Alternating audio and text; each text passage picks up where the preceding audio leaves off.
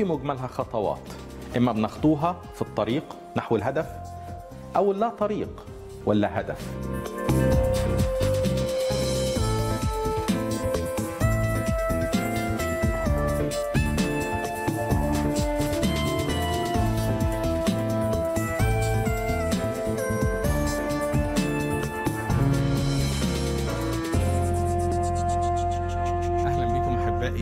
جديد ومتجدد دائما من قناة الكرمه كندا وعلى الهواء مباشرة وبرنامجكم خطوات قدام.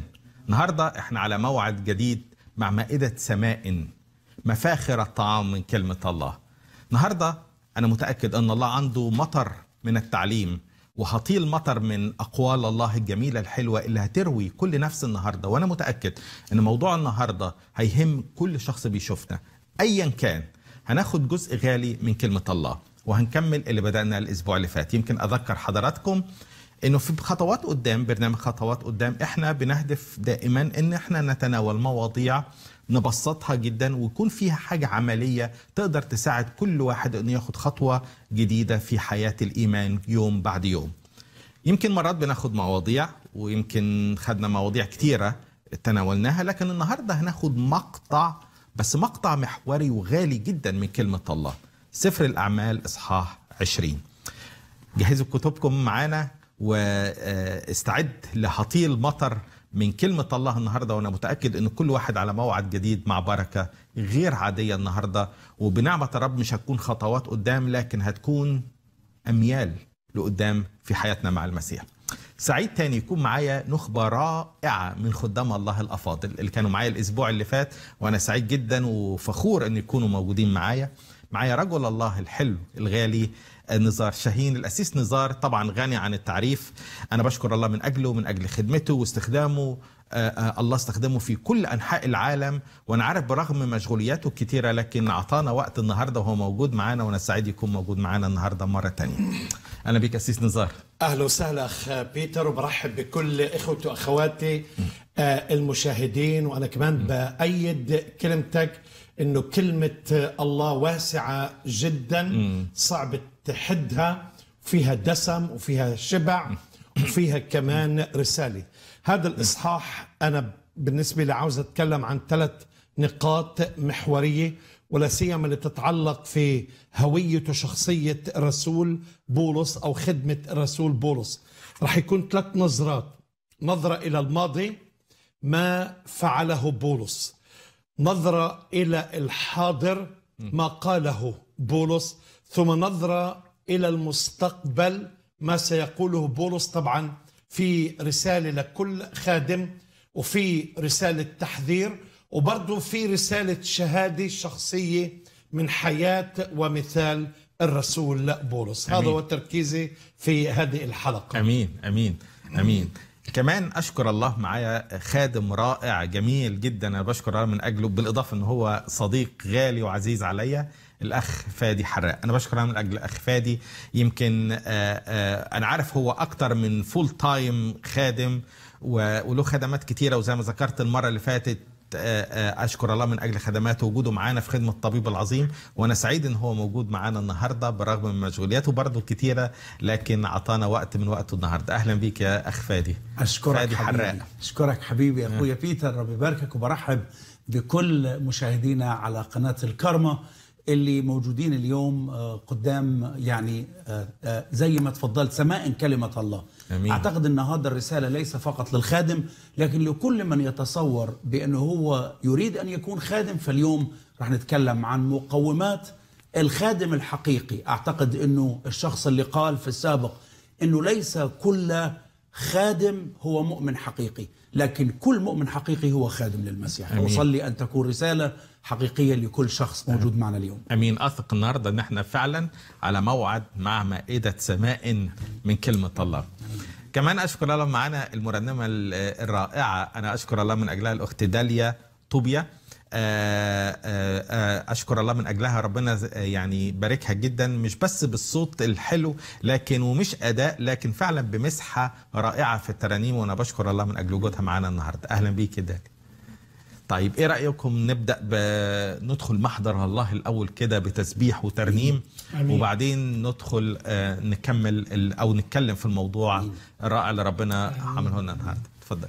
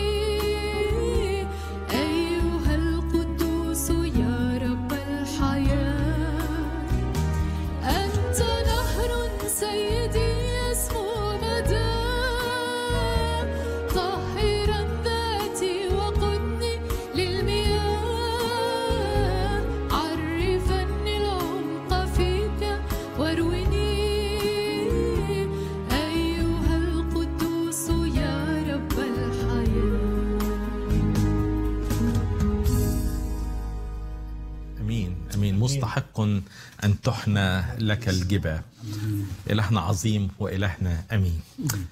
أحبائنا اللي ما كانوش موجودين معانا الأسبوع اللي فات كان عندنا تأملنا في موضوع في منتهى الروعة. وأنا أثق إن كل ما كتب كل كل ما كتب كتب لأجل تعليمنا. حتى بالصبر والتعزية بما في الكتب يكون لنا رجاء. فكان في لينا رجاء الحقيقة رائع في قصة افتيخوس إحنا تأملنا فيها. وبس لو أحبائنا اللي ما كانوش موجودين الأسبوع اللي فات لو بس نلخص لهم الكلام الجميل اللي كان فيها تعليم كبير جدا جدا جدا جدا. مش قصة واحد كان قاعد يسمع بولس وبولس قاعد يوعظ وتأخر في الوعظ طول في الوعظة وهو كان قاعد في الطبقة الثالثة. والراجل زي ما سمعنا كانت الدنيا آه، المصابيح الكتيرة مطلعة ثاني أكسيد الكربون وثاني أكسيد الكربون بيطلع لفوق. الراجل داخ ويمكن كان طول اليوم تعبان ومعظمهم فلاحين بيصحوا الصبح بدري وقع مات. لكن احتضنوا بولس صحي مش قصة بيحكي لنا الرو... يعني الكتاب لكن أكيد كان فيها فيها تعليم وشفنا. فلو نشارك أحبائنا قبل ما ندخل في موضوعنا النهارده. اتفضل. يعني باختصار آه، شديد هي بعد آه، نهضة عظيمة جدا حدثت في أفسس وبولس ترك أفسس طبعا مر في كذا مكان ولكن وصل ترواس ترواس المكان اللي استلم الرؤية انه يروح ل... ل... طبعا مقاطعة مقدونية إلى منطقة فيليبي ومنطقة اليونان. في ترواس كان في اجتماع والناس حاضرة وبولس الرسول عم بيوعظ عم بيتكلم بكلمة الله. وطبعا الوقت ضيق لأنه كمان لازم يسافر لازم يترك يعني ويكمل.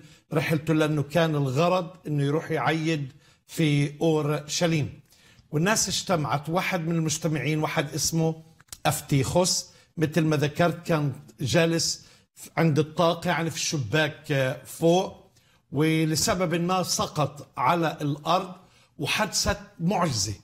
والكتاب بي بيتكلم إنه كان في اجتماع لأنه كان الاجتماع هو كسر الخبز يعني في أول الأسبوع. ال- الأسبوع. ولكن لما سقط على الأرض أنت تتخيل ردة فعل الناس شو رح تكون؟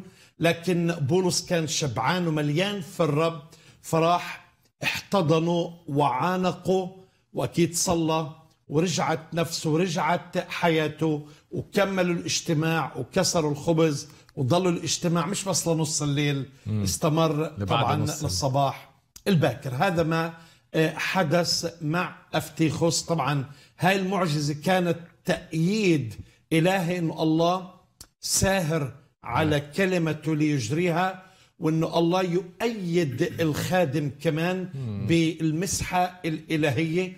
وهذا وعد من المسيح إنه وعد المسيح أنه سيبني الكنيسة وأبواب الجحيم لن تقوى عليها. وعد المسيح أن يعطي الروح القدس. ووعد المسيح أنه لا يتركهم يتامى. وعد إنه الروح القدس راح يكمل معهم. بس في كمان وعد الرب يسوع وعده. قال الأعمال التي أعملها أنا تعملونها أيضا. بل تفعلون أو تعملون أعظم منها. وكان واضح من هذه المعجزة بطرس أقام ميت بولس أقام ميت في هذه المعجزة إنه بيعطي مصداقية. خلينا نركز على هوية يسوع. بتعطي مصداقية لإرسالية يسوع المسيح بتعطي مصداقية لتصريحات يسوع المسيح الذي قال عن نفسه أنا هو القيامة والحياة من آمن بي ولو مات فسيحيا. وطبعا تعطي مصداقية إنه انه المسيح ما زال يعمل من خلال التلاميذ هو سفر أعمال التلاميذ. المملوئين بروح الله أعمال الرسل أعمال الروح القدس من خلال حياة الرسل مملوئين بحضور الله لكي يفعلوا أعمال الله ودائما لما في كرازه بالكلمة الله يؤيد الكلمة بالآيات. بالآيات التابعة وهذا إن دل على شيء بدل على مصداقية بدل على شرعية إنه إنه التلاميذ مؤيدون بحضور الله معهم من خلال الآيات التابعة. آمين آمين آمين. فادي أنا عارف أنت يعني ربنا عطانا المرة اللي فاتت تعليم كتير بجانب الكلام ال- الحلو اللي سمعناه ولخص لينا ال- القصة الاسيس نزار. لو برضو تشاركنا بكام فكرة كده بسرعة عشان نقدر ندخل في الموضوع بتاعنا النهارده. آمين حبيبي. آه. آه آه أخويا بيتر رغم إن النص ده يعني في شيء من الحزن إنه شخص ينام في وسط آه آه خادم ناري. آه بولس الرسول لم يكن خادم اعتيادي لكن كلامه كان دائما يعني مساق بالروح القدس. وهو كان دائما مفعم بالحيوية. آه بالإضافة إلى أنه آه الوعظة والطاقة اللي بذلها بولس في هذه ال- ال- ال- الوعظة لم تكن آه يعني آه وعظة كنائسنا في أيامنا الحالية. فعلا ده كلام جميل. بيقول لك إزاي ينام في وعظ يعني أنا بتخيل كده لو أسيس نزار بيوعظ. هل ممكن حد ينام؟ ده أنت محتاج يعني قوة غير عادية عشان تعرف تنام مثلا. الب... ال... ومع كل هذا في ناس بتنام وبتشخر كمان في. معقولة؟ البعض البعض بيلتمس عذر الأفتيخوس لأنه ال ال اللي انتبهنا في في النص يقول آه، إنه وعظ إلى نصف الليل. يعني الوعظه طول. لم تكن كنايسنا إحنا و والحقيقة أنا أريد أقول رسالة. ساعات لما متعودين إنه الخدمة تاخذ آه 45 دقيقة. آه. ولما الخادم ياخذ 50 دقيقة دور الساعات بيبتدي. الكل الكل يلاحظ. الحقيقة ملاحظة ال- الساعة. أنا أعتقد هو نوم أيضا. الرغبة في إنهاء الوعظه والخروج هو نوم. لأنه أنت يعني تقدم تصلك رسالة من الله واضحة. بس هي فعلا على حسب الخادم. يعني صح. صح. مثلا آه في خادم تزعل جدا لما يخلص. صحيح. بجد أنا في خدام آه، آه، حتى لو طول. تزعل أول لما يخلص لكن في خادم تاني تزعل لو ما خلصت مش عايز أقول. يعني بو اعتقد أعتقد إنه بولس آه، آه، أحلى وعظة قدمها في هذا النص رغم إنه آه، يعني وعظ لا يخبرني ما الذي كان يعظ فيه بولس. لكن الوعظة الحقيقية اللي شغل الروح القدس إنه يتكلم فيها هو ما حصل بعد سقوط أفتيخوس. أعتقد هذه كانت الوعظة الحقيقية.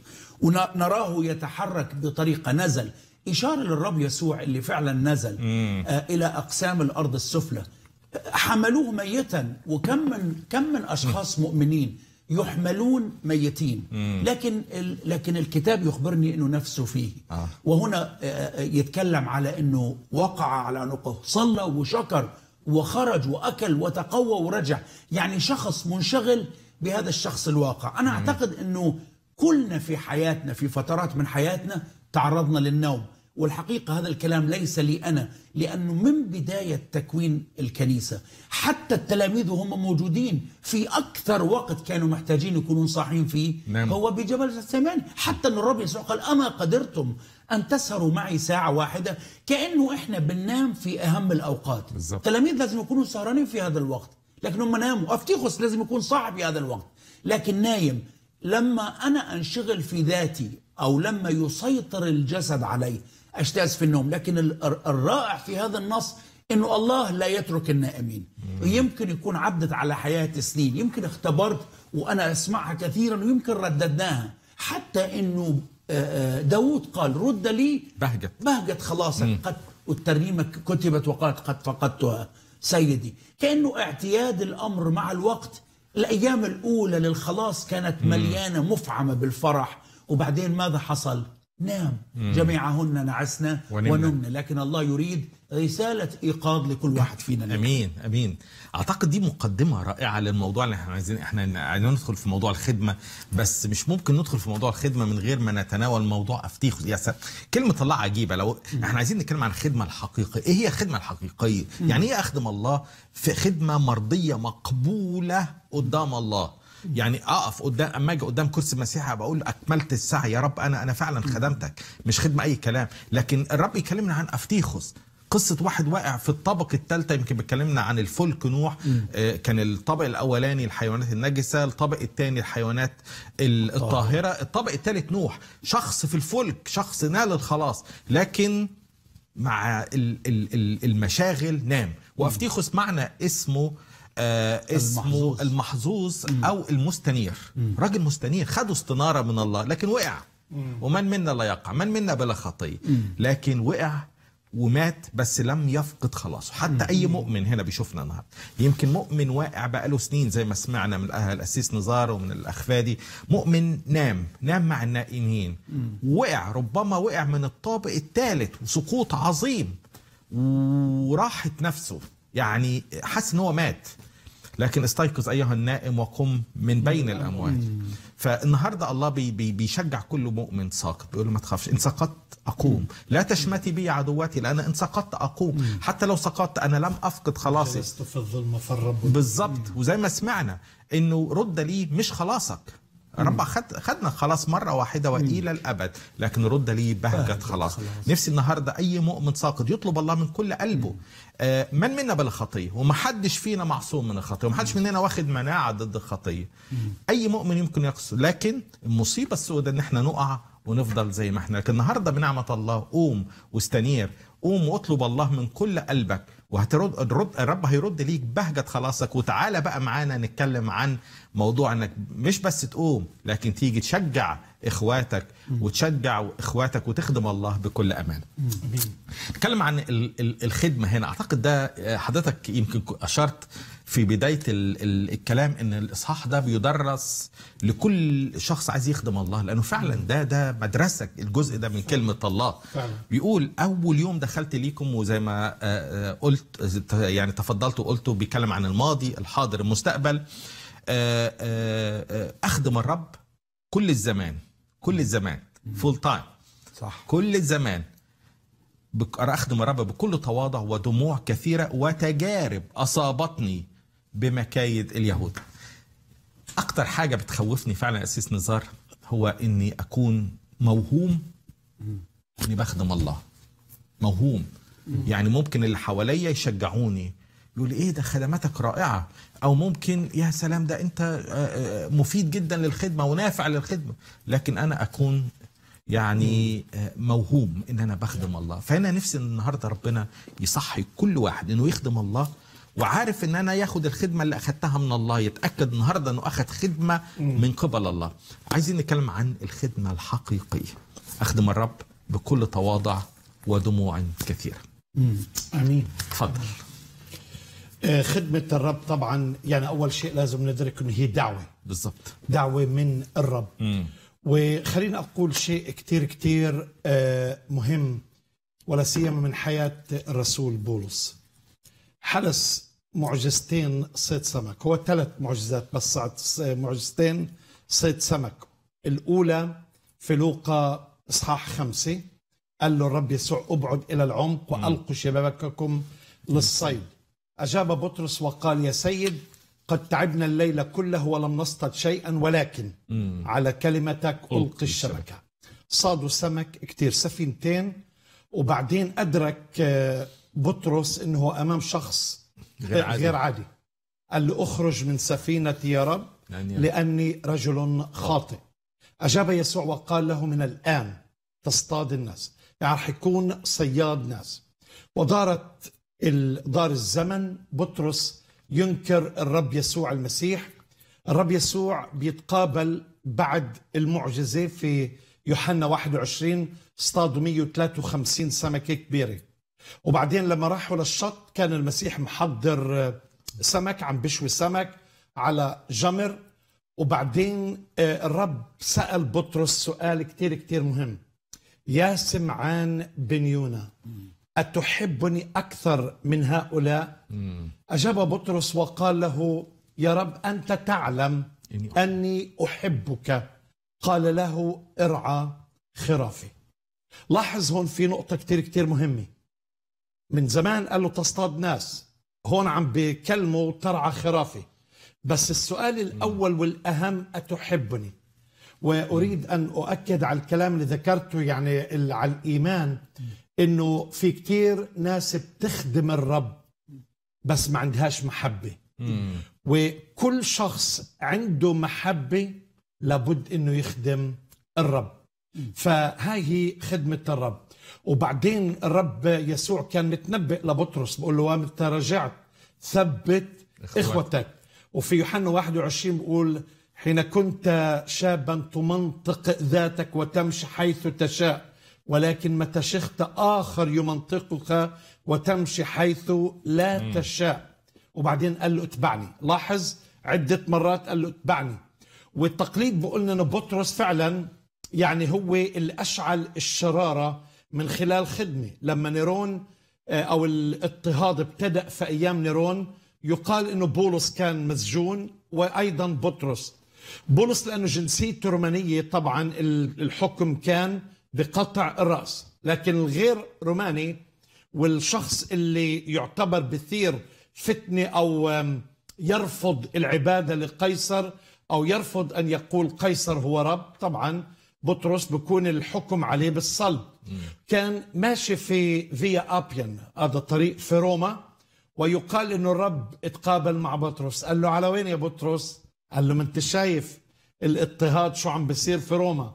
قال له ارجع. وهي النبوة متى رجعت؟ فهو فعلا مات ولكن قال حاشا لي أن أصلب مثل سيدي. ولكن عاوز أقوله أنه الرب يسوع وعده بأية ميتة مزمع أن يمجد الله بها.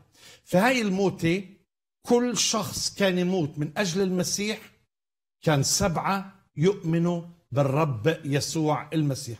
فعلا أول 200 سنة أكثر من 3 مليون شخص استشهد من أجل المسيح ولكن المسيحية انتشرت في ثلاث قارات في أقل من من 25 سنة بسبب بولس أنه حمل المشعل أخذ الخدمة بشكل جدي وأنه هو عبر أنه إحنا لسنا كالباقين غشين كلمة الله. كان يؤمن بالكلمة كان يتكلم بالكلمة وكان الله يؤيد الكلمة بال... بالآيات التابعة. 25 سنة الله كلمة الله تقوم. ما كانش في إنترنت ما فيش في تليفون. ثلاث قارات. في ثلاث قارات ما فيش إنترنت ما فيش تليفون ما فيش سيارات ما فيش طيارات. السفن بدائية لكن عمل الروح القدس. يقول لك الواحد كان يقوم بداله سبعة. فشوف ال multiplication اللي وصلت بك فعلا آه، آه، آه، آه، نفسي فعلا إن ربنا يلمع قدامنا يعني إيه أكون خادم حقيقي لله أمين. آه تعرف يا أخي بيتر آه في في سؤال مهم إحنا بحاجة أن نسأله. وأعتقد كل خادم نسأله نحن لأنفسنا وكل خادم ينوي أن يخدم الله. السؤال المهم ما هو هدف خدمتي؟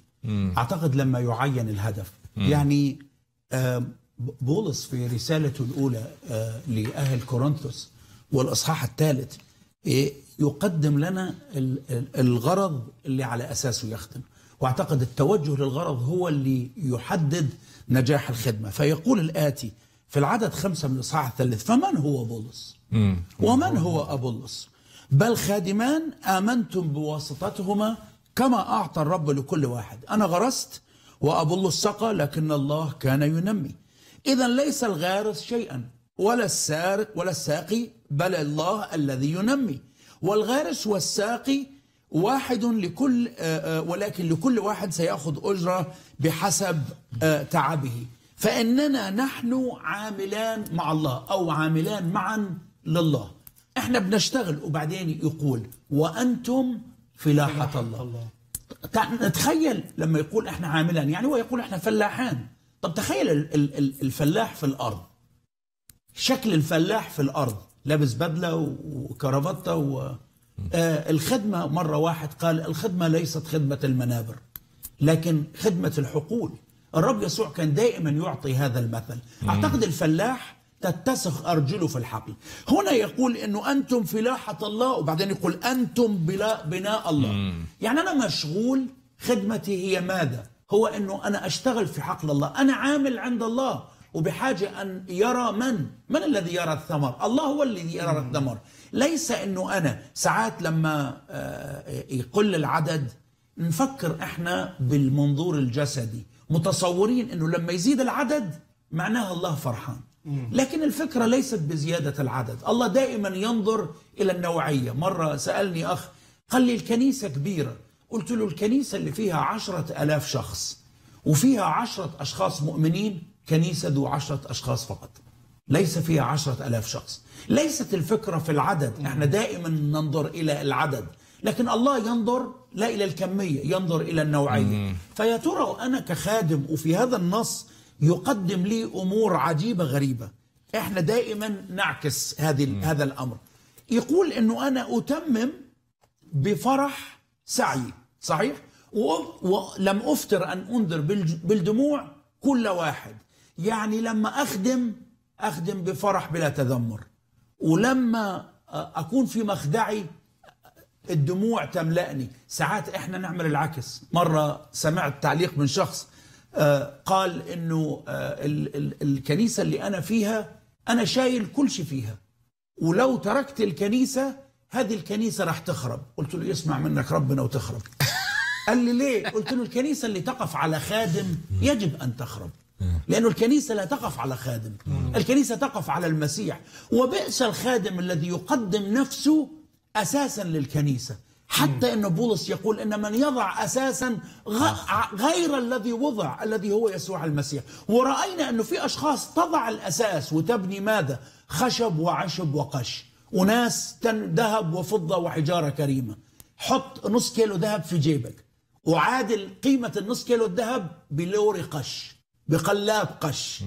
الخدمة الكبيرة ليست مقياس لنجاحها لكن الخدمة ال- القيمة الصغيرة الثمينة هي اللي فيها الثمر الحقيقي. تأكيد لكلام الأخ فادي أنه في كورنثوس الثانية صح ستة والآية الأولى بيتكلم نحن عاملان مع, الله, الله.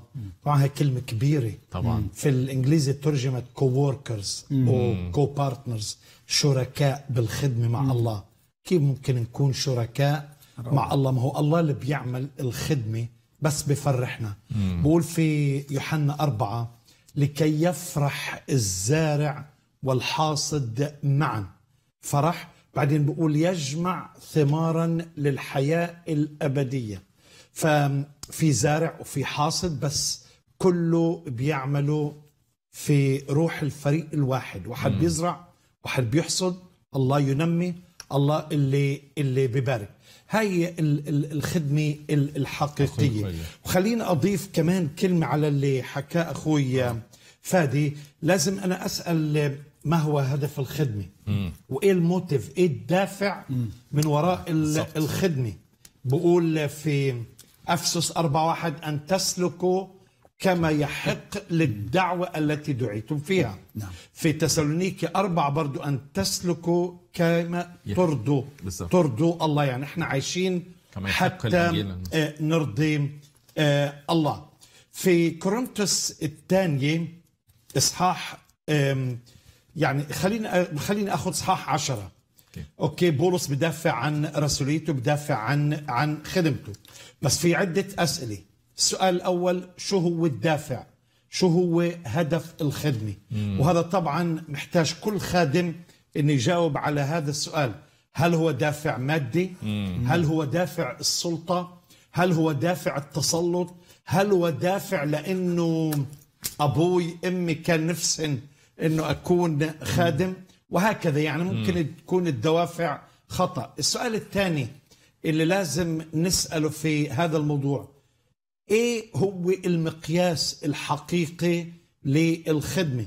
طبعا في بولس في كورنثوس الثانية بيحكي عن ناس عن خدام اللي بسميهن دعاة التهويد جوديايزرز اللي حطوا أعباء وأحمال على الناس إنه الخلاص يعني عشان تكون مسيحي بالعربي لازم تكون يهودي لازم تختتن ولازم تحافظ وتمارس أعمال الناموس. طب إيه هو المقياس؟ هاي الجماعة بقول عم بقيسوا يعني آه، ولا أن نقابل آه، أنفسنا بهم بل هم إذ يقيسون أنفسهم على على أنفسهم.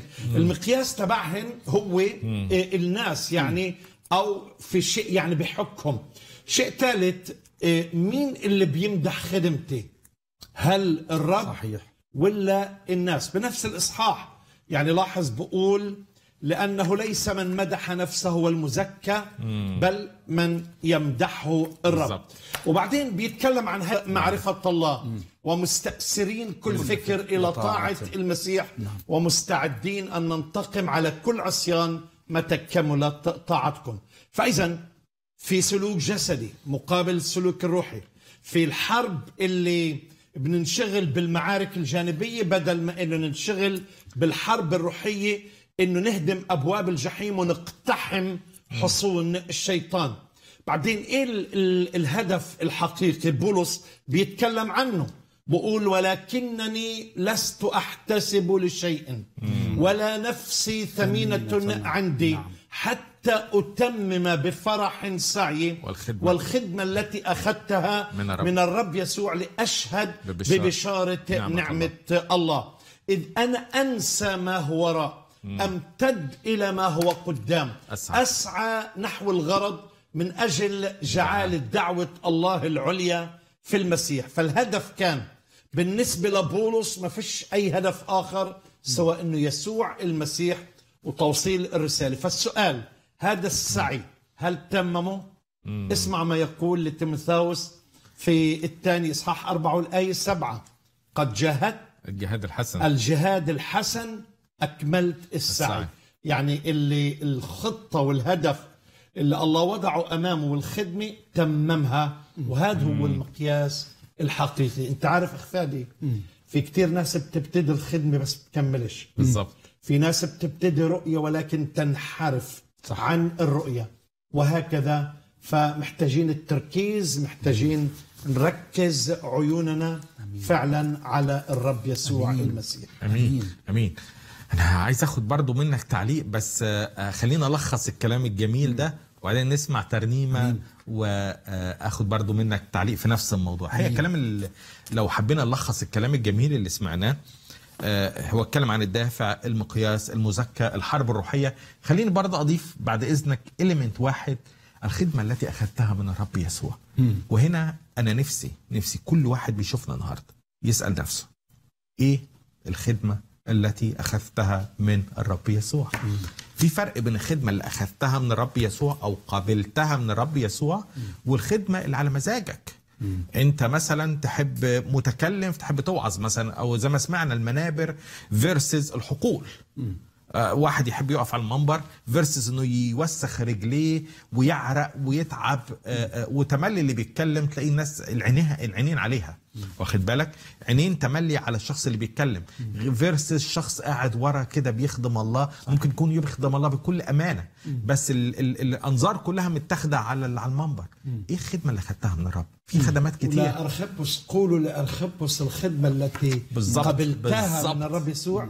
تممها تممها. كملها. بالظبط بالظبط إيه الخدمة؟ فأنا نفسي النهارده النهارده إن ربنا يلمع قدام كل واحد. إيه الخدمة اللي خدتها؟ يا رب أنت. ماذا تريد يا أستاذ؟ في ترنيمة جميلة جدا كان كتبها أبونا مكاري آه بتقول آه مولود من فوق وفي قلبي شوق أخدم شفيعي أخدم يسوع. أنا لما بتأمل إزاي هو اتألم؟ قلبي يدوب واسجد له واسلم واشتاق. أخدمه. مولود من فوق وفي قلبي شوق. أخدم شفيعي أخدم. نفسي النهارده ربنا فعلا يلمع قدام كل واحد بيشوفنا النهارده. إيه الخدمة اللي أنا قابلتها من الرب يسوع؟ كلمنا عن الدافع. الدافع مهم جدا جدا. وهنا الدافع ده هيقودنا بقى أعتقد للآية المحورية. في الموضوع ده كله لا أحتسب لشيء ولا نفسي ثمينة. عندي. لو فكرنا في نفسي ثمينة عندي هتدافع؟ ممكن يكون ده نفسي بقى. لأن أنا عايز أخدم خدمة الناس تسقف لي عليها أو ناس تقول ربنا يباركك. أو آه، آه، أشعر بإن أنا أنجزت وأشبعت غريزتي الدينية. إن أنا عملت اجتماع وجبت الناس قعدتهم كده زي البلاليس كده وقعدتوا إيه يسمعوني كده ويصوروني وأنا بتكلم وأنا ده كده أنا بشبع نفسي. أنا مش أنا أنا قدام الناس خادم ناجح. لكن قدام الله ولا حاجة. الدافع. إيه الخدمة؟ المقياس. أعتقد فعلا ال measurement دي مهمة جدا جدا لأن مرات بندي أنا فاكر مرة زمان الواد ديفيد ابني كان كان عمره لسه أربع خمس سنين. صغير كده. وبعدين هو آه، آه، آه، جوز خالته طويل قوي قوي قوي فجاء مرة قال لي على فكرة أنا أطول من جوز خالتي. قلت له إزاي؟ هو جوز خالته ده مترين. فقال لي أنا أنا قست نفسي. يا طب وإزاي؟ قال لك أنا عملت المقياس يعني عمل مقياس كده مترين فقاس نفسه لقى نفسه زي آه، نفس طول جوز فهو اللي قاس نفسه وهو اللي عمل المقياس وهو اللي عطى النتائج. ومرات كتير إحنا بنقيس نفسنا على نفسنا ونحس إن أنا خادم ناجح وتبقى المصيبة الكبيرة. نقيس نفسنا على بعض ال- الناس أيوه يعني. دي بقى المصيبة الأكبر. دي المصيبه الأكبر. بشوف ال الناس في, في الاجتماع بيعملوا إيه؟ وأعمل زيهم. فأنا كباقي كل الناس ودي أعتقد خطة الشيطان ان يخلي المؤمنين نسخ زي بعض كلهم زي بعض كباقي المؤمنين أن في حال ننشغل بالخدمة وليس بالمخدوم. بالظبط كده. وما فيش ما فيش نفسي ثمينه عندي عايزين نكمل في الموضوع الرائع ده بس ناخد ترنيمة. من الأخت داليا. أخت داليا ما أعرفش أنت محضره لنا إيه بقى.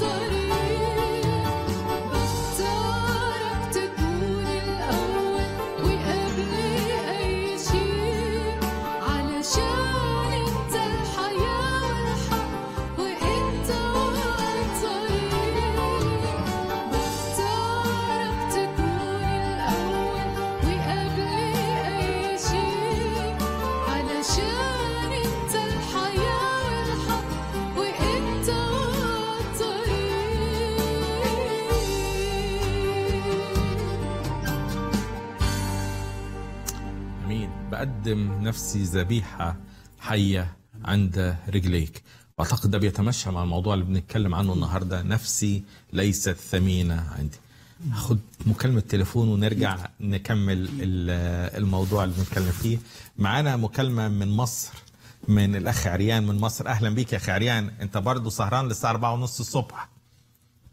طبعا لما بنشوف رجال الله الأفاضل وبنتعلم منهم كل أسبوع. آه، بنقعد ونستفيد. آه، الوقت رائع جدا من اخواتنا كمان المسبحين ربنا. يبارككم وحضرتك حد رائع محب جدا بيحب فيك المسيح. تعيش ابتسامتك الجميلة والرقيقه وبقول لكم كل سنة وأنتم طيبين. وأنت طيب. يمكن أسأل سؤال بعيد عن موضوع الحلقة بتسمح لي. اتفضل. دلوقتي آه، العالم كله في كأس العالم والناس مشغولة كلها بالكورة والعالم وكده. وفي حاجة يعني آه، أحد الدول الشريفه الكاس العالم آه، رافضه المثليه ورافضه الخمره أنا عاوز أعرف الكتاب المقدس طبعا كل ما الكتب كتب قبل تعليمنا هل الكتاب المقدس بيأيد المثليه وبيأيد شرب الخمره وبيأيد الأشياء دي؟ ولا آه، في الكتاب المقدس أنا عارف ده بعيد عن الموضوع بس أنتوا بتتكلموا عن الخدمة وبرضه منكم إن أنتوا آه، تكلمونا ونتعلم منكم. حاضر. حاضر. هنجاوبك يا أخي عريان وشكرا ليك لمداخلتك. هو يمكن سؤال بعيد عن موضوعنا بس الأخ عريان صديق للبرنامج ف آه، أعتقد الدولة اللي عاملة كأس العالم واللي شغله الدنيا كلها موضوع المثليه ما أعرفش for some strange reason موضوع كبر قوي دلوقتي وبقى يعني ما عندناش موضوع في العالم كله. في كندا هنا وفي كل العالم ما عندناش موضوع دلوقتي غير المثلية. وطبعا روميا واحد إصحاح واحد واضح جدا جدا جدا آه، آه، الموضوع ده مش محتاج حتى إن إحنا وشوف لوط وشوف ال- ال- اللي عمله الرب في سدوم وعمورة. موضوع الخمر ده ممكن ناخد فيه حلقة كاملة لأن كلمة خمر آه، مترجمة بأكتر من كلمة. في عصير عنب في مع في كذا كذا كذا. فال يعني لا نسكر بالخمر الذي فيه الخلاعة لكن نمتلئ بالروح. لكن في نفس الوقت لما كان تيموساوس استعمل خمرا قليلا من أجل معدتك وأسقامك الكثيرة. فالموضوع ده ممكن ناخد حلقة عن الخمر صحيح. آه، آه، في المسيحية. بس طبعا موضوع المثلية ده يعني موضوع منتهي. يعني مش محتاج إن إحنا نتكلم فيه. اقرأ روميا واحد اقرأ الكتاب اقرأ روح الكتاب كله. يعني آه، آه، من البداية زي ما بيقولوا God create Adam and Eve not Adam and Steve. واخد بالك؟ ف آه، آه، واضحة خطة الله من الأول. آه، لكن كل دي روح العالم أو بيقول لنا فعلا إن إحنا الحاجة الوحيدة اللي ننتبه ليها إن إحنا في الزمان الأخير. عايزين يغيظوا الله بكل إمكانية. لكن ممكن نبقى مع حلقة تانية نتكلم في موضوع الخمر. أكيد. بس طبعا موضوع مثل ده ده مش يعني ده ده واضح جدا في كلمة الله. طيب لو هنتكلم عن الخادم الأمين الحقيقي اصعب حاجة بتواجه أي خادم هو ال ال التبادل بين نفسه وبين المسيح. نفسي غالية عندي مش هقدر أكون معكم كل الزمان. كل الزمان أنا مش فاضلكم. أنا عندي آه، عندي اهتماماتي ده معاكم كل الزمان. يعني صبح ظهر ليل. وبعدين بي لما بيصلي بدموع يقول لك ليلا ونهارا مش نهارا. وليلا صحيح. ده كل ليلة عمال بيصلي بدموع. بس على فكرة مرات إحنا نصلي بدموع بس لما يكون عندنا مصايب. يعني لما يكون عندي مشكلة أصلي بدموع عشان نفسي. عشان ربنا يطلعني. لكن لما يكون فادي عنده مشكلة واقع في مشكلة أصلي بدموع عشان فادي طب أنا مالي أنا أصلي بدموع عشان مشاكلي أنا عشان حظي العثر عشان حظي الخايب. لكن أنا مالي أمال ف... لكن بولس لما يشوف فادي وقع في مشكلة كان يصلي بدموع عشان عشان فادي. راجل مش عايش لنفسه عايش للمسيح. ودي ال trade-off between النفس وزي ما سمعنا دلوقتي بحط نفسي ذبيحة عند قدميه. الت- أعتقد التوحد مع فكر الله ومع الأشخاص هو ما يجعل الشخص ملتهب في عمل الله. تشبع من كلمة الله تشعر إنه المؤمنين فلاحة الله فأنا مشاعر الله تنتقل لي و- وأستطيع أن ألتهب فعلا وأنا أخدم. فهنا يقول لم أفتر يعني لم يقل حماسي ودموعي وصراخي لأجلكم ثلاث سنين بلا توقف يقدم. الحقيقة إحنا ممكن نتجول في أمور كثيرة. يعني كما ذكرنا يذكر كلمة الدموع ثلاث مرات هنا. يقول ودموع كثيرة بتجارب أصابتني وبعدين آه، يذكر أيضا أني لم أفتر عن أن أنظر بالدموع كل واحد. لكن أنا يعني شغلني الله أتكلم بنقطة مهمة. كيف تكون خدمتي ناجحة؟ طبعا آه، نجاح من وجهة نظر الله. من وجهة نظر الله بالضبط. لأنه آه، في مبدأ تغير الآن أنا بتكلم مع الخدام المولودين من الله هو ينبغي أن ذاك يزيد وأنا أزيد. الفكرة ساعات بتتوجه بهذا الشكل. حتى لو كانت دوافعي دوافع أمينة يعني الغرض إنه الخدمة تكبر. وبعدين تتحول الكبر الخدمة من الانشغال وهذا أكبر فخ يوجهه إبليس في حياة المؤمن. هو أن تتحول خدمتي من انشغال بحجارة حية إلى حجارة ميتة. يعني بدل أنه أنا أت- أفكر بأنه اللي يبنى هي الكنيسة كبيت الله كمؤمنين إلى كنيسة تبنى كمبنى فيصبح الاهتمام بالمبنى أكثر من الاهتمام بكنيسة الله. متغاضين ومتناسين إنه المبنى هذا ليس هو مكان. إحنا ساعات نتصور والفكرة اللي خطأ وصلتنا إنه الكنيسة هي بيت الله. وعندما نقول الكنيسة هي بيت الله يخطر في أذهاننا المبنى اللي أنا ألتقي فيه.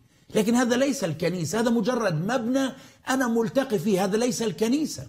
الكنيسة هي نحن المجتمعين لما أنا أنشغل بالنفوس الحقيقة آه، بولس بيتكلم عن نفسه في أعمال الرسل 16 في آه، يعني آه، حادثة في منتهى الروعة عندما دخل إلى سجن فيليبي. في منتهى الروعة في هذا النص يقول في العدد 25 ونحو نصف الليل كان بولس وسيلة يصليان ويسبحان الله. لابد لابد كل خادم يصلي ويسبح الله لابد وأن تعقب هذه الصلاة وهذا هذا السجود زلزلة عظيمة. لابد.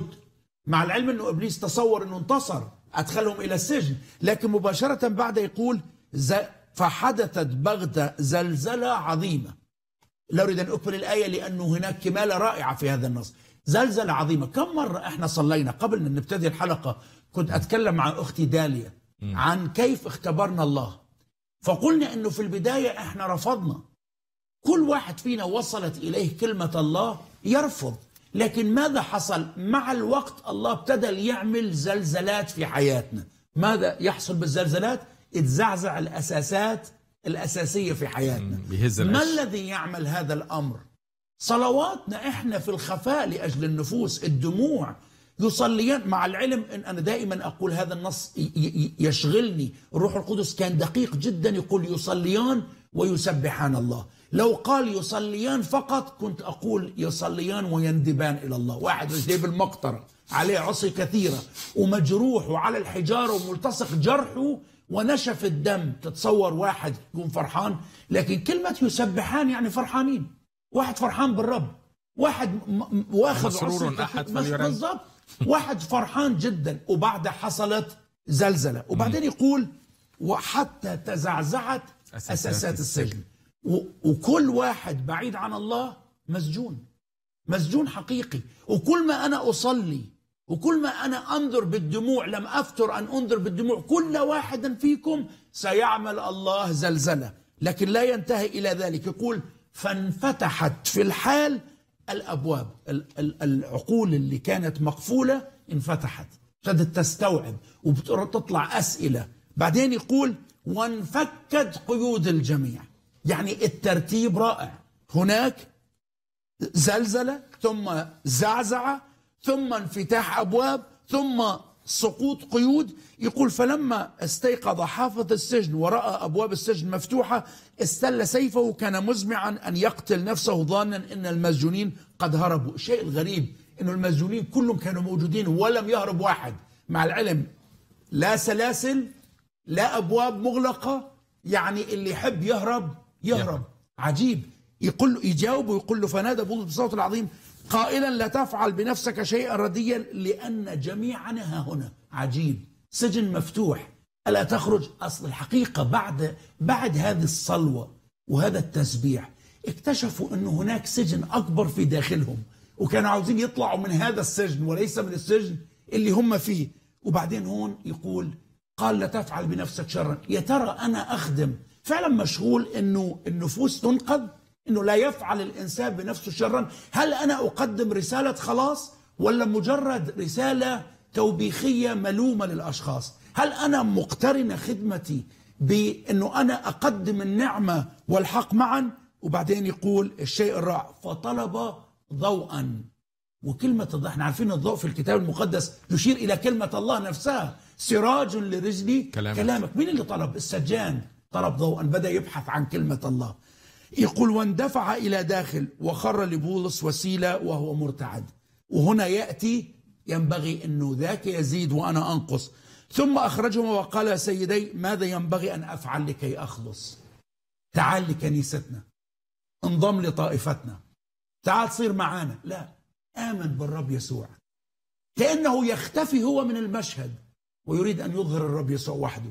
آمن بالرب يسوع فتخلص أنت وأهل بيتك. والنتيجة النهائية يجب أن تكون خلاص كامل للسجان ولكل أهل بيته. أمين أمين. أمين أساس نزار أنا عارف أنت يعني أنا أشكر الله لأجلك. إحنا طبعا مش ممكن أجامل حد آه، على حساب كلمة الله لكن أنا بشكر الله من أجلك. فعلا في كل مرة بعرف الناس بالأسيس نزار أقول الرجل لا يحتسب لشيء. ولا نفسه ثمين. أنا عارف أنت تعرضت لمخاطر كتيرة جدا ومرات كتيرة وأنت بتحكي لي بس المخاطر اللي رحتها واللي اكتست فيها وكان فعلا وادي ظل الموت. لكن أنا بشكر الله من أجلك. وأنت يمكن اللي تقدر تكلمنا عن ال- الشخص أشرت للآية بتاعت جاهدت الجهاد الحسن. أكملت السعي حفظت الإيمان نفسي نفسي نفسي نفسي فعلا. بقول من كل قلبي إن كل واحد بيشوفنا النهارده ياخد ال- الخطوات لقدام النهارده ويبقى يقدر لو لو لو لو رب جه النهارده يقدر يقول أكملت السعي جهدت الجهاد الحسن. آه، مش نفسي نفسي مش ثمينه عندي لكن أنا بانفق وأنفق عشان إنجيل الله. كلمنا عن الجهاد الحسن. يعني إحنا بنحكي على الكريدنشلز اللي كانت عند بولس الرسول. بقول أما اختار الله جهلاء العالم ليخزي الحكماء؟ أما اختار الله ضعفاء هذا العالم ليخزي الأقوياء؟ بعدين بقول اختار المزدرى وغير الموجود ليبطل الموجود. لكي يكون فضل القوة لله لا انظروا دعوتكم أيها الإخوة ليس يعني كثيرين. بس الغريب في بولس يعني لما حب يفتخر يعني شوف بيفتخر بدقاته. شوف يعني في كورنثوس الثاني اصحاح 11 بقول أهم خدام المسيح؟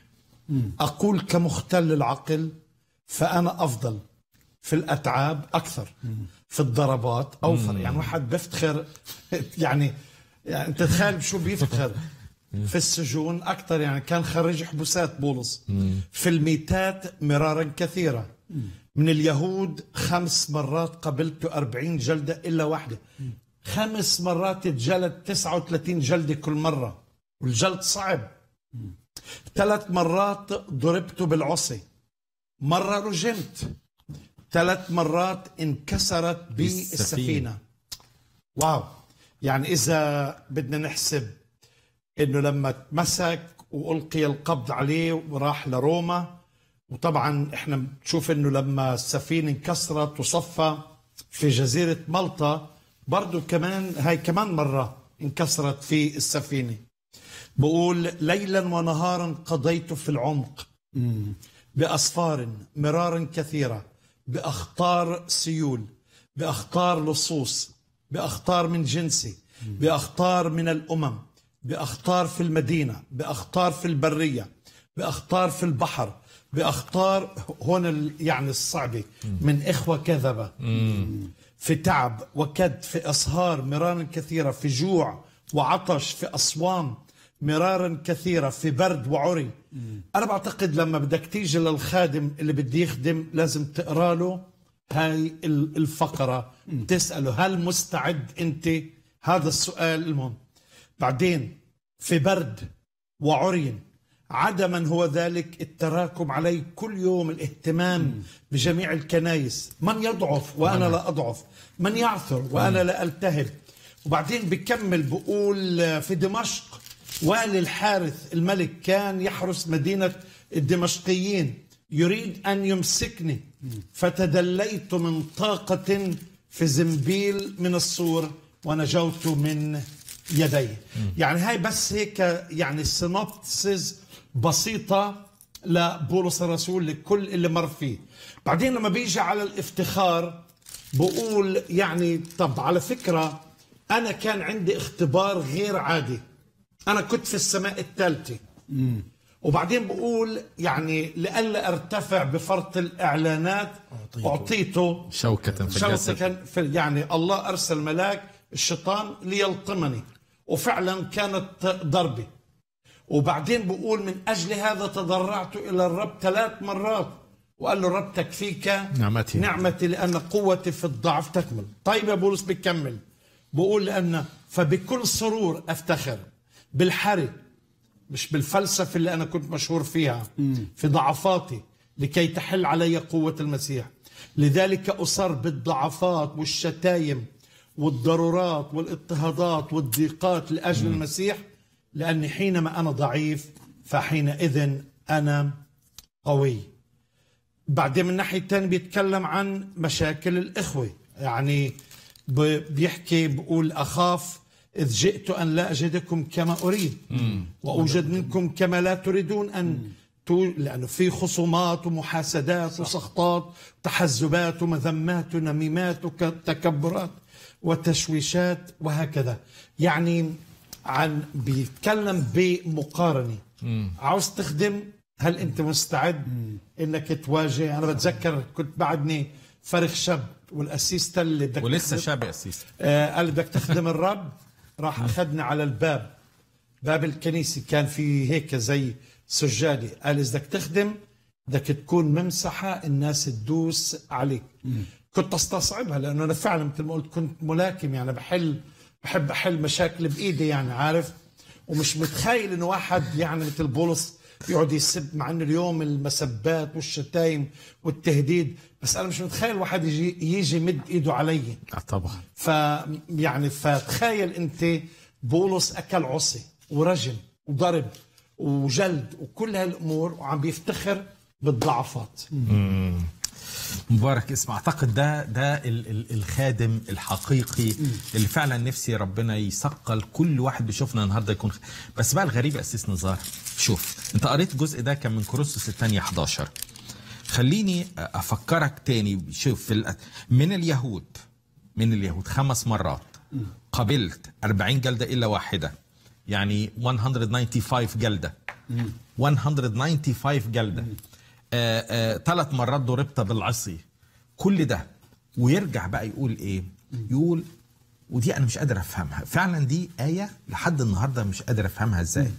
يقول أقول الصدق في المسيح لا أكذب وضميري شاهد لي بالروح القدس. إن لي حزنا عظيما في قلبي ووجع لا ينقطع. من أجل مين؟ أنسباء. مين هم انسباؤه اليهود. اللي ضربوه 195 طيب. اللي ضربوه اللي ضربوه جلدوه خمس وأقول الصدق في لا, لا أكذب. ضميري شاهد لي بالروح. هنا بقى بيقول إيه؟ أنا بقول الصدق ما بكذبش. واللي أخطر من كده يقول إن الروح القدس ضميري شاهد لي بالروح القدس. طب يا بولس خلي بالك خلي بالك إنه أنت بتشاهد الروح القدس. أنت عارف إن حمية وسفيرة لما كذبوا على الروح القدس إيه اللي حصل؟ ده بيشاهد الروح القدس. بيقول إيه؟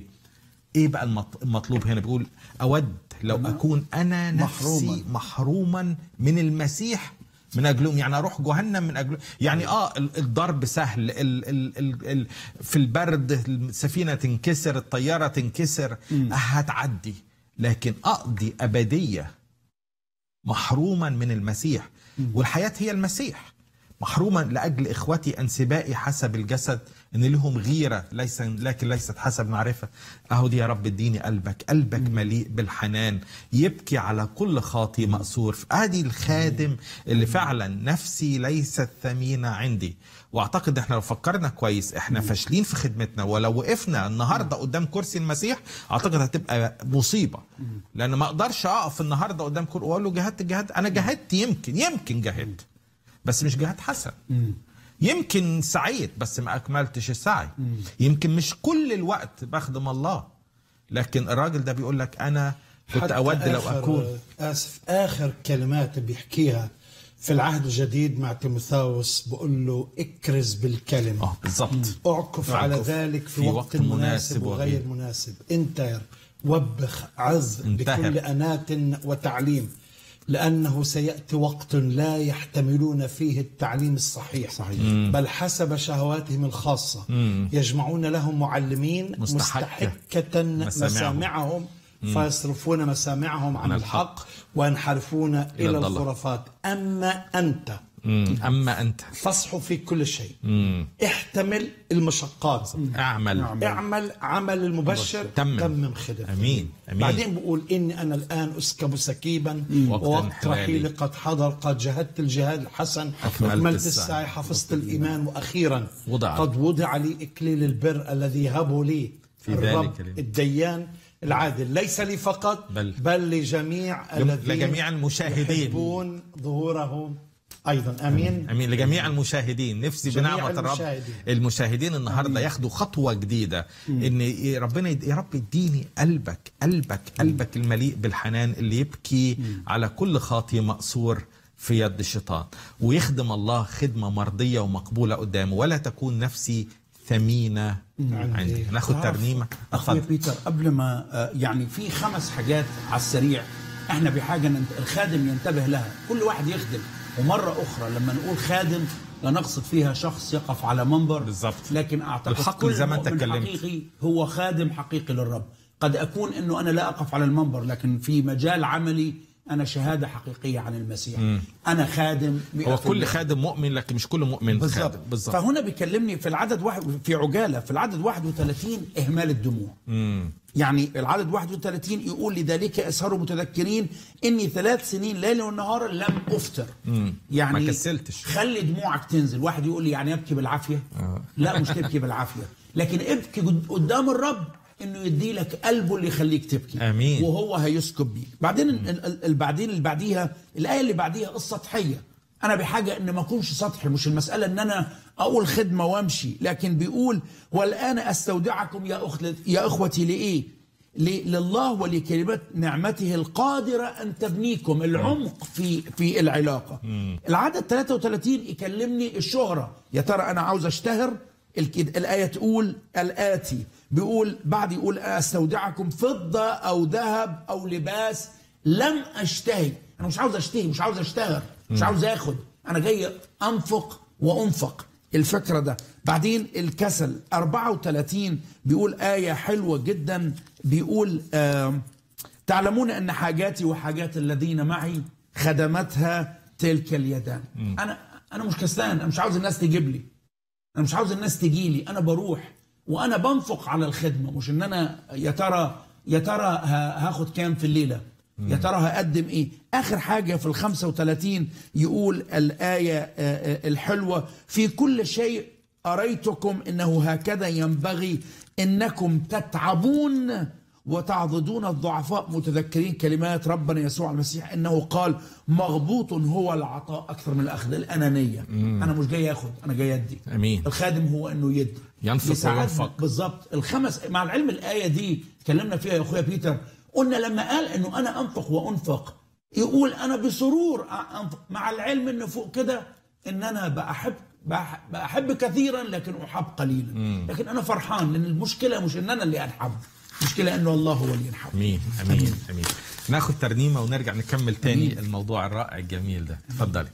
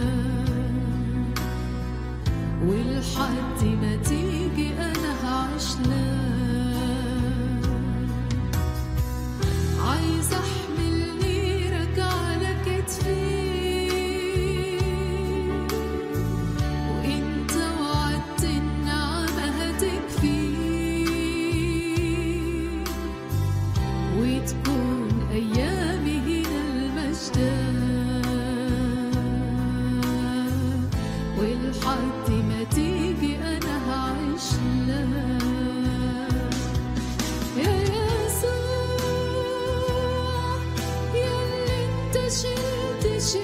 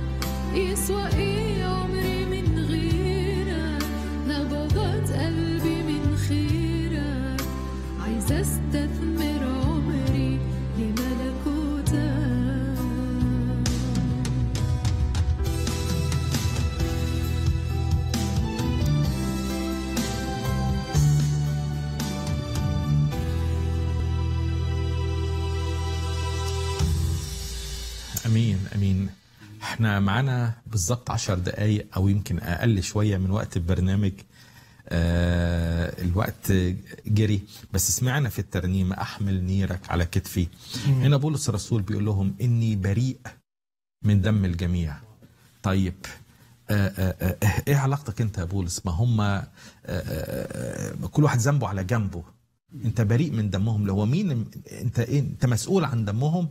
هي طبعا دي بتفكرنا موضوع بيلاطس بس ده موضوع قصة تانية. بيلاطس لما غسل إيده بس أعتقد هنا لما بيتكلم عن اني بريء من دم الجميع بيفكرنا بحسقيال 33 وح- وحسقيال ثلاثة وكررت برضه في حسقيال صحيح. 33 بالظبط نفس الكلمة. آه، آه، آه، الرب بيقول له جعلتك رقيبا على الشعوب. لو أنت لو أنت حذرتهم وما سمعوش انت بريء من دمهم. هنا إحساس بالمسؤولية. أنا مسؤول من الناس. أسيس نزار.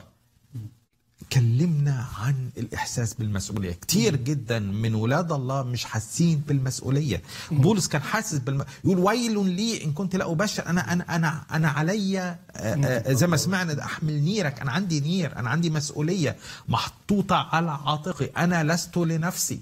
لكن ربنا خلاني هنا الغرض لهدف. كلمنا عن الموضوع ده يا سيس. كملت الآية أما دمه فأطلبه من يدك. بالظبط. يعني الكلمة خطيرة جدا. مصير إنسان بين إيديك. مم. إذا كلمته أنت بريء حر هو قبل أو رفض وراح يواجه الرب. بالظبط. ولكن تخيل إنه بقول الرب أما دمه. يعني ف... فهي كلمة خطيرة جدا في العهد القديم وهي صدى صوتها بنشوفه أو كلماتها مع بولس إني بريء من دم من دم الجميع. إنه أنا كلمتكم لم أؤخر من كل الفوائد. كلمتكم بكل مشورة الله. لا خبيت لا صغير ولا كبير خليت أعطيت كل اللي ما أنا نقلت صورة المسيح في في عارف نحن نفتقر يعني في خدام. نحن نريد رجال الله. رجال الله. كي يكون إنسان الله. كامل. كامل متأهب مستعد لكل عمل صالح. ماشي. طب شو رجل الله؟ رجل الله هو رجل صلاة. يعني أنا بتذكر إيليا بقول حي هو الرب الذي وقفت أمامه. إنه لا يكون طل ولا مطر في هذه السنين إلا عند قولي. رجل صلاة مليان بحضور الله حي هو الرب الذي وقفت أمامه. تخيل لو كل خادم يقول إنه أنا واقف أمام الرب حضور الله موجود في. شيء ثاني رجل الله هو رجل المواقف. إحنا محتاجين ناخذ مواقف. ما بينفع المسايرة ولا التهادن ولا التساهل. على حساب الحق الكتابي. إحنا لازم نقدم كلمة الله بغض النظر أمام ملك أمام أمير أمام حكومة أمام أي أي شخص. فالمسايا أو المسايرة أو إنك تتنازل عن كلمة الله وتساير فيها مش رايح ينفع. فلازم يكون رجل مواقف. هكذا يقول الرب. يعني هذا هو رجل الله. شيء آخر رجل الله هو رجل الكلمة. لما بيتكلم كلمة دايما الله بتمم هذه الكلمة. يعني المرأة بتقول إيليا علمت أنك رجل الله لأنه كلام الله اللي في فمك حق.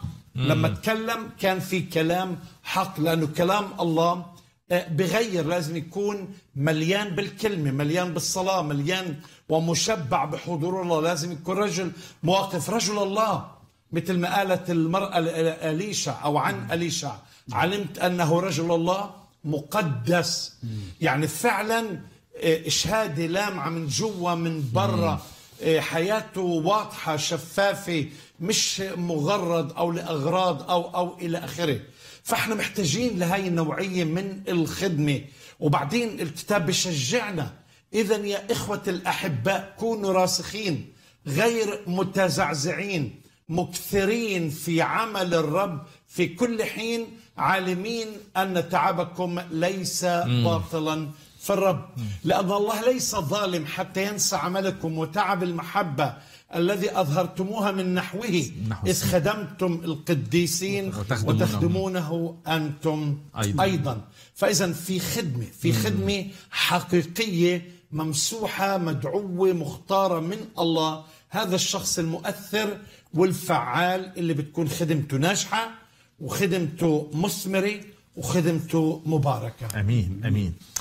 اخ فادي أنا هاخد منك تعليق في دقيقة واحدة لأن نفسي الأسيس نزار يصلي لأن إحنا عايزين برضو نكون نوصل الكلمة لكل المشاهدين عشان نكون برضو بريئين من دم الجميع إن إحنا وصلنا. وأنا بشكر الله من أجل الأسيس نزار آه، في الاستوديو عنده على التلفزيون اللي قدامه حاطط sticky yellow sticky كده مكتوب عليها preach the gospel يعني في كل مرة ما تنساش ما تنساش إنك to preach the gospel فقبل ما يصلي مع الناس ووجه رسالة في نص دقيقة عشان نختم ال- الحلقة دي. تكلمنا عن مسؤولية دور المسؤولية هنا. الحقيقة ال- ال- العدد 24 أنت اتكلمنا الأخ نزار كلمنا عن عن الرقيب وعن مسؤوليتي إنه أنا بخلي نفسي من دم كل شخص بالظبط. آه، آه، آه، بولس عمل حسبه سريعة في العدد 24 قال الآتي ولكني لست أحتسب لشيء. لشيء اشتغل محاسب عمل الحسبه صحيحه آه. وخلى في آخر الحسابات إنه أنا بعيد عنها بعدين قال حتى أتمم بفرح. بفرح سعي اشتغل عداء آه. عاوز يوصل للهدف عنده هدف مركز إنه هو يوصل له مش بدموع لكن بفرح بعدين والخدمة التي أخذتها زي ما تكلمنا الوكالة الحقيقية لأجل كل واحد فينا. لأشهد ببشارة الإنجيل ال- ال- القطعة الصفراء اللي خلاها آمين. نزار إني أنا أفضل. المسؤولية ستتم لما أعمل الخدمة صح لما أسعى صح لما أعرف أنه أنا وكيل ولما أنا أشهد ساعتها سأكون رقيب مغسول اليدين من دم أي شخص. آمين آمين آمين. thank you so much اسيس نزار. توجه رسالة. لكل واحد. تعرفوا الكتاب المقدس بيتكلم بشكل واضح. كل من يؤمن بالابن الرب يسوع له حياة أبدية.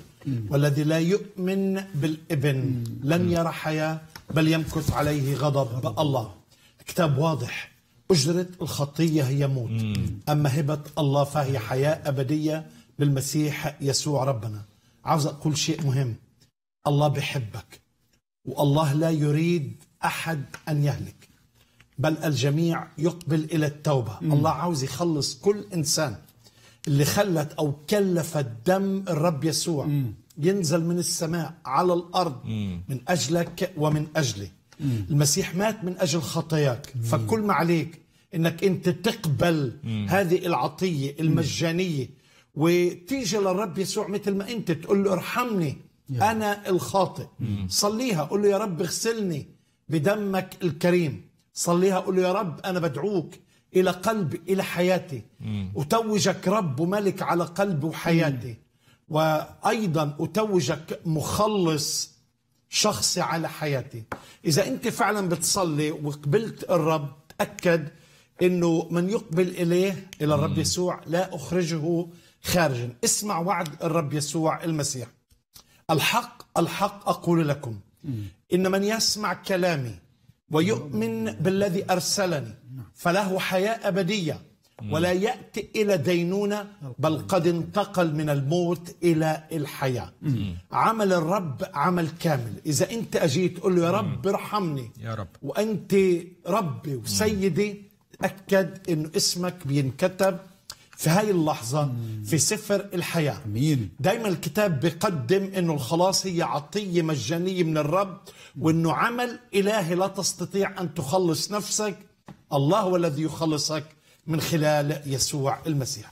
تعال الآن اطلب الرب يسوع سلم حياتك للمسيح والأرقام موجود أمامك. اتصل في ناس رح تصلي معاك والرب يثبتك بالإيمان وبالنعمة. وبالمعرفة كمان والرب يستخدمك. وأشكر الله من أجلك هذا قرار يعتبر قرار مصيري أهم قرار في الحياة. بصلي من كل قلبي إنك قبلت الرب يسوع والرب يباركك. آمين آمين. بشكركم جدا أحبائي لوجودكم معانا النهارده. أحبائي بشكركم لمتابعتكم هنخرج من الحلقة دي بترنيمة بس أذكركم بش... بحاجتين اتنين مهمين قوي لو كنت طلبت الرب النهارده من كل قلبك استيق أن الرب هيسمع. خالق الأذن ألا يسمع؟ هيسمع لك. ودي أجمل شيء. موسيقى في ودان الرب لما تيجي له في يوم من الأيام تقول له ارحمني أنا الخاطي الحاجة الثانية نفسي كل واحد مننا يتثقل بالخدمة يقول له يا رب ماذا تريد يا سيد أن أفعل؟ عايزني أعمل إيه؟ يا رب اديني الخدمة اديني أخدمك خدمة مرضية ومقبولة قدامك وتحس بالمسؤولية. كمان أحب لكل الأحباء اللي عايشين في تورونتو وضواحيها بذكركم إن يوم الجمعة الجاية يوم السبت الجاي عفوا يوم السبت الجاي يوم 26 نوفمبر في فرصة للطبيب العظيم باللغة الإنجليزية أساسا للشباب. من فضلكم. تثقلوا بالمسؤولية. لو عندك أي حد في بيتك شباب أولادك قرايبك أرجوك تتثقل بالمسؤولية وتدعيهم في هيكون في هوليداي ان 600 Dixon Road في تورونتو جنب المطار. يوم السبت الجاي يوم 26 الساعة 7 مساء. أرجوك تصلوا للفرصة دي لأن أول مرة نعمل فرصة للطبيب العظيم باللغة الإنجليزية تحت Renewed. تثقلوا بالفرصة دي. هنخرج من الحلقة دي بترنيمة وإلى لقاء جديد أستودعكم في رعاية القدير.